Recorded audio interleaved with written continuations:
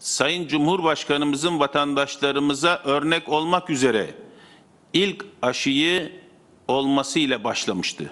Sağlık Bakanı Fahrettin Koca, Kocaeli'nin en çok vaka artışı yaşandığı iller arasında olduğunu açıkladı. de önderlik etmeleri sebebiyle huzurlarınızda bir kez daha teşekkür ederim.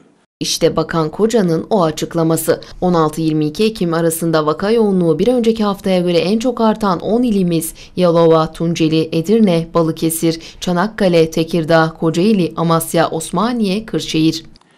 100 milyon doz ortak ve büyük bir başarının adıdır.